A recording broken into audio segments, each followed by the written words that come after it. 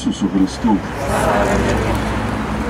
E, Szanowni bracia i siostry, e, zgromadziliśmy się tutaj na tym cmentarzu starym Złoczowskim, w tym miejscu wspólnej mogiły e, pomordowanych mieszkańców e, Złoczowa przez służbę NKWD w 1941 roku.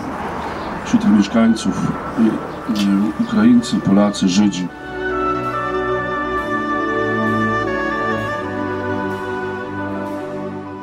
Sprawców tego tutejszego spotkania, pani Marii Osińskiej, pana Władysława Mokrzyckiego. Chciałam bardzo serdecznie powitać przedstawicieli duchowieństwa na czele z naszym kochanym arcybiskupem Czesławem Mokrzyckim, z y, księdzem Andrzejem Legowicz, księdza proboszcza y, Hołdowicza, y, Michała Hołdowicza. Również bardzo serdecznie witam przedstawicieli władz tutejszych z panem burmistrzem Ichorem y, Hrynkiwem, z panem Dymitrem y, Kołotką i również bardzo, bardzo serdecznie panią y, dyrektor Muzeum tutejszego Złoczowskiego, panią y, Marię Hupało, a również y, i również przedstawicielkę panią prezes y, klubów miłośników Złoczowa, panią Romanę Szczepkowską.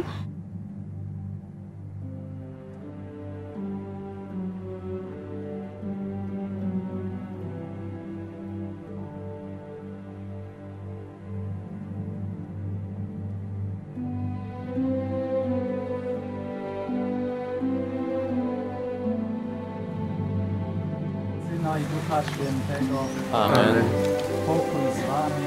I z duchem Twoim. Panie Jezu Chryste, Ty własną śmiercią zwyciężyłeś śmierć naszą. Po błogosława pod nim złożone, strzeż do życia w Panu, który żyjesz i królujesz na wieki wieków. Amen.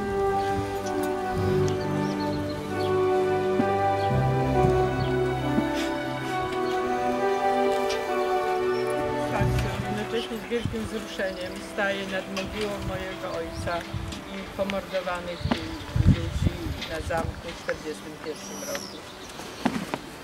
Z trudem udawało nam się po wielu latach udać tą, załatwić tablicę, która, że tak powiem, informuje o tym, że tu nasi ojcowie czy dziadkowie leżą. Ja na przykład dowiedziałam się o tym, że ojciec mój tutaj leży dopiero po 50 latach. Przez całe życie czekałam, szukałam ojca. I właściwie dzięki tylko organizacji Memoriał, ukraińskiej organizacji, dowiedziałam się, że tu leży, że tu jest pomordowany. Tu mnie przewodnicząca memoriału, pani Inna Fieduszczak, przywiozła i pokazała. I dopiero wtedy, jak już byłam dorosła, dowiedziałam się, że tu spoczywa mój ojciec. Było to dla mnie ogromne przeżycie, no ale chcieliśmy, żeby jednak był znak jakiś na tym, że leżą tutaj właśnie ludzie. Co prawda grób był pięknie zrobiony, uporządkowany i właśnie przez wszystkie lata y, starałam się i moja matka, ponieważ ojca aresztowano, jak y, Sowieci zajęli tereny polskie tutaj, zamknięto. Ojciec był oficerem straży pożarnej w Brodach i tutaj przebywał od kwietnia 40 roku do czerwca, kiedy było zamordowane. Cały czas szukałam ojca, nie mogłam go znaleźć, brakowało mi go ogromnie. To właściwie tyle bym chciała powiedzieć. Cieszę się, że nareszcie można było upamiętnić to miejsce, że jestem tutaj i że wiem, gdzie on spoczywa. Dziękuję. reprezentują lub Wrocław, lub Złoczów, przepraszam, z Wrocławia. Y, Przyjechałam tutaj, żeby złożyć hołd wszystkim strasznie zamordowanym w czerwcu 1941 roku. Wszystkim, którzy spoczywają tutaj jako nierozpoznani, pochowani. Ukraińcy, Polacy, Żydzi. Także tym, którzy zostali rozpoznani bratniej, mniejszej mogile, tam w głębi cmentarza są pochowani, to są rozpoznani Polacy. Y, Była lista 16 nazwisk rozpoznanych. To nie wszyscy, których NKWD zamordowało, nie tylko w czerwcu. Mam dokumenty na to i przekażę y, tutaj y, na miejscu dokumenty na to, że już zaraz po wejściu w nocy z 21 na 22 września 1939 roku rozstrzelano bez sądu na więzieniu na zamku 10 osób polskich służb y, z, ze Złoczowa. Naczelnika więzienia, zastępcę naczelnika więzienia, zastępcę prokuratora powiatowego i pracownika starostwa napisane, bo tam są nazwiska podane, jest 10 nazwisk. Y, Zastępca napisany, y, pracownik starostwa i płachta, a wtedy starostą był Jan Płachta. Możliwe, że to chodzi o niego, nie ma pewności, bo zmieniano imię Jan na Iwan. I jeszcze dziesięciu różnych funkcjonariuszy policji. Zastrzelono ich w nocy bez sądu, pochowano po kryjomu i y, nie wiadomo gdzie, czy koło zamku, czy tutaj po kryjomu na cmentarzu.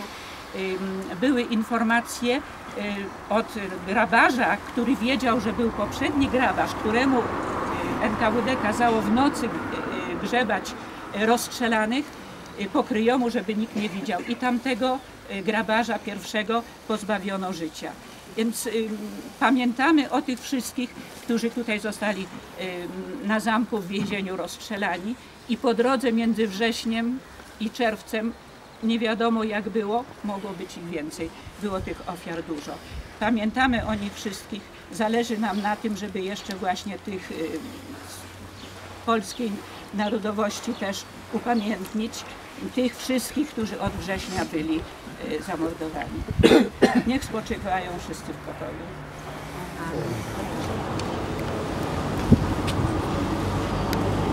Sława jest po prostu. Wasze Ekscelencje. Екселенція, архієпископе Мечислав Мокшицький, пане отче Проборще, всечесне духовенство, дорогі золочев'яни та дорогі гості нашого міста. Минуле століття дало дві страшних світових війни, в тому числі і Другу світову війну, котра принесла мільйони людей по всьому світу у жертву, страшну жертву.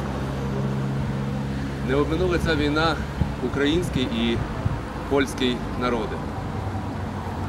І у Золочеві, і в інших куточках України та Польщі вбито, закатовано багато достойних, гідних людей, котрі хотіли жити мирським життям, вирощувати хліб, виховувати дітей і думати про те, як буде завтра. Є пам'ять, невгамовна пам'ять, є живі очевидці тих страшних подій і в пам'ять про оці злочини, злочини комуністичного режиму, злочини нацизму. Сьогодні по всьому світу ставлять обеліски, і сьогодні наша таблиця про тих, хто помордований у Золочеві, а у Золочеві помордовано багато українців, багато поляків. На вулиці Львівській є обеліск, де помордовано євреїв. Там ми вшановуємо пам'ять і про цих людей. Через те я дякую організаторам, котрі приклалися до того, щоб встановити у Золочеві тут, на цьому кладовищі, цю пам'ятну таблицю. Просимо Господа про мир, бо сьогодні в Україні також неспокій. Сьогодні російський агресор вбиває наших людей на сході України, а кожен той, хто вірить в Бога, просить миру для себе і для ближнього свого. Дякую вам усім, що зібралися, що ми відкрили цю пам'ятну таблицю і слава Ісусу Христу! Слава навіки. Módlmy się za wszystkich zmarłych, których groby znajdują się na tym cmentarzu, a zwłaszcza za wszystkich poległych i ofiary ostatnich wojen. Panie Jezu, który umarłeś na krzyżu, aby przywrócić wszystkim utracone życie, zmiłuj się nad nimi. Zmiłuj się nad nimi.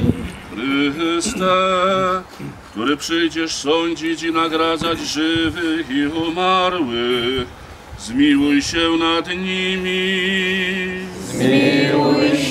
Panie,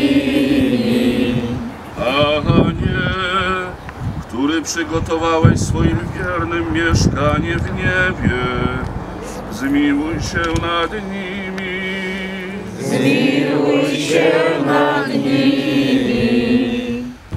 Panie, wysłuchaj modlitwy nasze.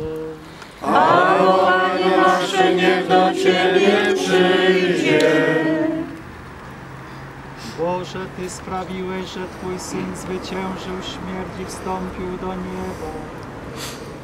Daj wszystkim naszym zmarłym udział w Jego zwycięstwie nad śmiercią, aby mogli na wieki oglądać Ciebie, swojego Stwórcę i Odkupiciela, przez Chrystusa Pana naszego.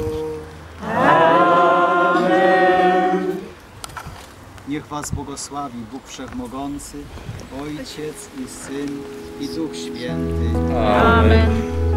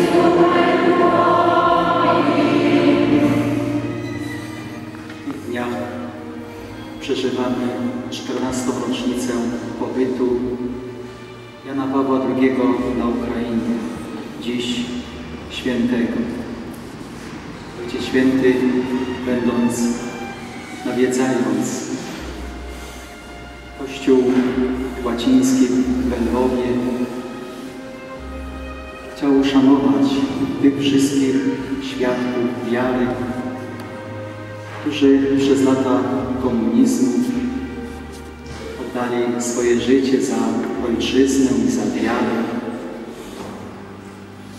Powiedział takie znamienne słowa. Wypłyń na głębię, Kościele łaciński, nie lękaj się. Chrystus zmartwychwstały daje nam wielką siłę, że nasze codzienne życie, nasze zmaganie się o dobro, nasze cierpienia nie są daremne, bo jest Chrystus zmartwychwstały, który widzi to wszystko, który docenia i który przyjmuje nas z tym wielkim skarbem do domu Ojca Niebieskiego i obdarza nas życiem wiecznym. Dzisiaj chcemy pomodlić się w sposób szczególny za tych, którzy oddali życie w 1941 roku tu w więzieniu na zamku Złoczowska. W sposób szczególny chcemy otoczyć także modlitwą mojego zmarłego dziadka Szczepana, prosząc, by Bóg przyjął ich do radości świętych w niebie.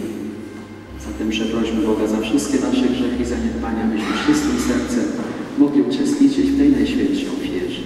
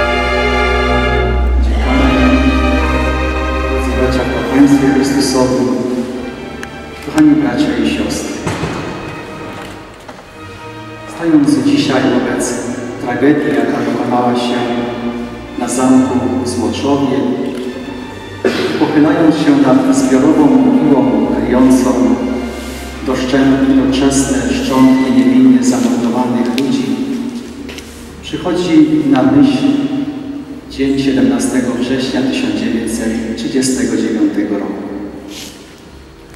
Tego bowiem dnia wojska Armii Czerwonej stanęły, stanęły na naszej ziemi i pod pretekstem wyzwolenia rozpoczęły swoją okupację, która setkom tysięcy ludzi żyjących na Kresach przyniosła zamiast wolności nową falę terrorową. Nie jest przypadkiem, że właśnie dzisiaj w Złoczowie gromadzimy się na wspólnej modlitwy, wspominając te najokrutniejsze czasy, jakie historia ludzkości widziała i przeżywała do tej pory. Myślę, że mury zamku Złoczowskiego są milczącym świadkiem cierpienia człowieka, który przeciwstawił się złu, mówiąc z odwagą, że nie akceptuje takiej wolności, zabraniającej samodzielnego myślenia i budowania społeczeństwa według tradycji i wiary swych ojców. Wielu ludzi wspominając tamte czasy pyta, dlaczego wbrew woli Boga są takie miejsca jak to w Złoczowie, gdzie ciągle odczuwa się brak dobra? Odpowiedzi na to pytanie nie odnajdujemy w imię Pana Boga, ale dostrzegamy winę człowieka, który w innych ludziach nie potrafił zobaczyć swych bliźnich, lecz nie widzieć nie wiedzieć, dlaczego zobaczył w nich dobro. Ten zły człowiek odrzucił przekazanie miłości i w jego miejsce wstawił nienawiść, którą podeptał godność stworzenia Bożego. Z głębokości wołam do Ciebie, Panie. Panie, wysłuchaj głosu mego. Nachyl swe ucho na głos mego błagania. Jeśli zachowasz pamięć o grzechach, Panie, Panie, któż się ostoi? Ale Ty udzielasz przebaczenia, by Ci ze czcią służono. Pokładam nadzieję w Panu, dusza moja pokłada nadzieję w Jego Słowie. Dusza moja oczekuje Pana. Bardziej niż strażnicy poranka, niech Izrael wygląda tam. U Pana jest bowiem łaska, u Niego obfite odkupienie. On odkupi Izraela ze wszystkich jego grzechów. Na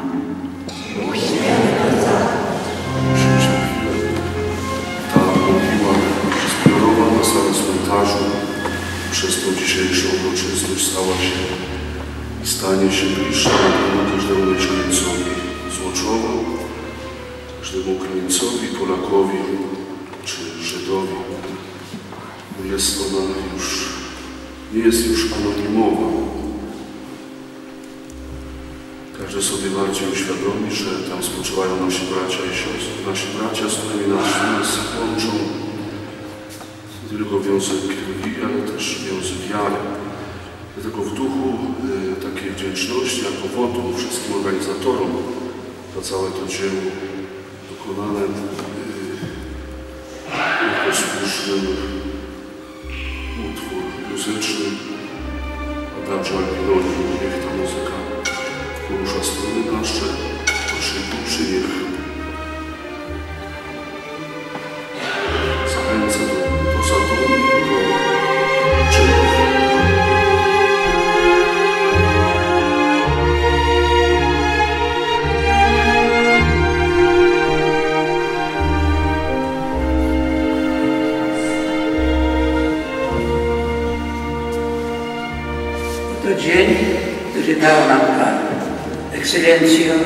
arcybiskup Mieczysławie, czcigodni, czcigodny księże Prołacie Andrzeju, czcigodny księże Michale, proboszczu tutejszej parafii, szanowny panie Ichorze Winki, szanowny panie Dymitrze Kołotko, sekretarz Rady Miejskiej Złuczowa.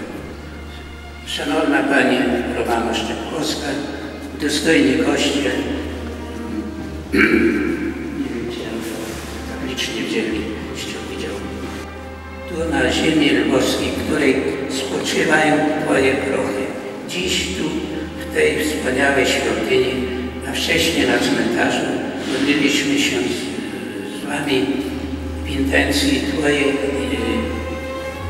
mojego Ojca i ukochanej babci i intencji Kazimierza, ojca pani Osińskiej, wuja pani Anny Biedny, i wszystkich pomordowanych, spoczywających w tym śmiertelnym dole, bo nie można to nazwać mogiłą.